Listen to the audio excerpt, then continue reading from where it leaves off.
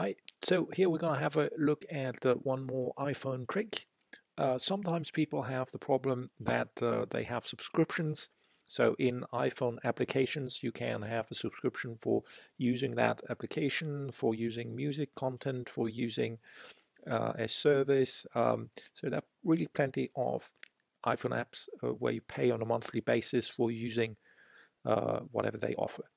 And uh, in some iPhone apps, it's easy to cancel. You just go into the application itself, and there somewhere you have a button where you can say, uh, I don't want this service anymore, cancel. In many other apps, uh, it is not that easy. It is really hidden. It's a bit sneaky, actually, because uh, they give you a hard time uh, canceling these. Some certainly don't do it on purpose, but um, yeah, that's how it is.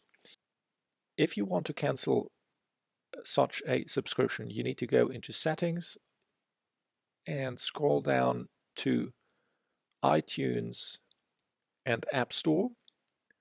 You click iTunes and App Store, and you need to go into your Apple ID. So that's where, where you see your email address.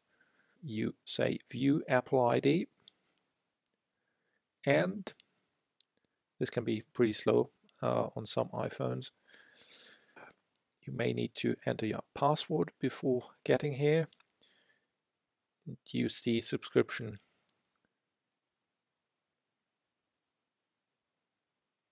and now you see the list of subscriptions that are available.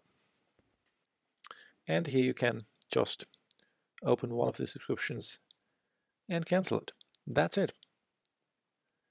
Easy to do if you know where it is, but uh, many people had a hard time uh, finding it.